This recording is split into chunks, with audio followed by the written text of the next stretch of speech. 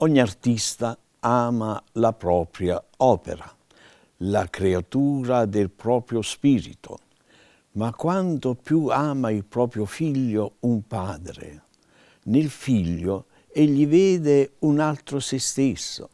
Per il figlio egli viva, vive e si sacrifica senza rimpianti, così come opera delle sue mani, Dio ci ama e si prende cura di noi perennemente. Ma di quale amore tenero e profondo Dio ama noi, che, non siamo, che siamo solo sue creature, ma anche suoi figli. È commovente come Gesù, il quale ci ha procurato la divina adozione e ci ha dato suo Padre per Padre, si sforza di tratteggiarci un quadro vivo e toccante dell'amore paterno di Dio. Il Padre si prende cura di tutto, veste i fiori del campo, i gigli del campo, la creazione opera di Dio che è creatore e padre di tutta la creazione e gioisce a vederne il suo sviluppo e direi con un'immagine umana piange quando l'uomo distrugge la creazione. Basta pensare alla terra dei fuochi, a tante distruzioni portate dall'uomo. Ebbene, dove di più però l'amore di Dio si manifesta? Si manifesta nel condurci per mano, per prenderci per mano e non farci sbagliare. Nel Vangelo c'è una parabola meravigliosa, bellissima, la parabola del figlio prodigo. Penso che sia il capolavoro della creazione di Gesù, delle sue parabole. C'è il figlio che vive in casa, è un pochettino moderno, un pochettino bizzarro, lavorare poco e divertirsi molto. E poi arriva a dire al papà che vuole l'eredità che gli spetta come figlio. E che devi fare? me la porto o la vendo, eccetera, voglio andare via di casa. È troppo opprimente vivere qui in questa casa. E il padre divide la proprietà, la dà a questo figlio e con le lacrime agli occhi saluta il figlio. Il figlio va giulivo, allegro, contento, è un uccello libero per godere la vita e il padre del, sulla soglia della porta di casa che lo guarda e piange, piange un figlio che si allontana da sé. È un po' la storia di, di un po' tutti noi peccatori.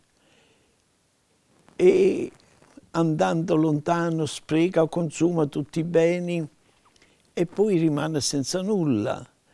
Ha, ha perso anche gli amici, ha perso anche le amiche, non c'è più il foraggio e quindi ognuno ha preso altra strada. E lui che cosa deve fare? Tornare alla casa del padre? Ah no. E quindi chiedo, chiede lavoro. E che lavoro gli potevano dare? Fare il porcaio, l'umiliazione più grande che poteva avere un ebreo, allevare e custodire i maiali e questo giovane si mette a fare la guardia ai, ai maiali. Aveva fame e doveva rubare le carrube agli maiali.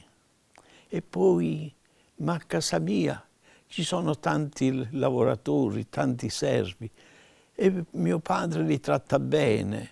Ritornerò da mio padre, dirò, ho sbagliato non, sono, non considerarmi più tuo figlio, ma trattimi come un operaio. Questo è stato l'insulto più grande che Gesù mette nella parabola. Difatti, il padre lo, lo aspetta e quando vede suo figlio che sta ritornando gli corre incontro. Il figlio si inginocchia, il padre lo alza, lo abbraccia e grida subito ai servi, prendete il vestito nuovo, mettetegli l'anello al dito, segno della, di, di, della padronanza, di essere un uomo libero. E così Dio fa per ciascuno di noi. Non guarda i peccati, si dimentica dei nostri peccati se noi abbiamo la capacità di ritornare alla casa del Padre e ci rimette in dignità. Se noi dovessimo domandare a Dio quali sono i miei peccati, e Dio dirà, ma io non me li ricordo, mica li posso tenere a registro. Tu sei mio figlio. Ecco allora la capacità dell'amore del Padre che ci salva perché è veramente Padre. Un amore forte che si verifica nel corso della nostra vita. Certo noi vorremmo che Dio intervenisse in tutte le, le cose dolorose della nostra vita, vorremmo che una semplice preghiera facesse uscire gli esami clinici in un, un modo accogliente, che scomparissero le varie difficoltà economiche, si, si avesse subito il posto di lavoro, cioè un Dio che è un po' manager. Ma no, non è così. Dio è amore, che vuole anche una certa realizzazione sulla terra da parte dell'uomo, ma sono le qualità che Dio ha dato all'uomo che si deve autogestire e lui dall'alto benedice e consacra. Ecco allora l'amore di Dio diventato concreto nella nostra vita quotidiana. Padre, io mi abbandono a te, fai di me ciò che ti piacerà. Qualunque cosa tu faccia di me, io ti ringrazio. Non desidero altro, mio Dio, rimetto l'anima mia nelle tue mani, te la dono, mio Dio, con tutto l'amore del mio cuore, perché ti amo, perché è per me un bisogno d'amore il donarmi a te, il mettermi nelle tue mani con una confidenza infinita, perché tu sei mio Padre.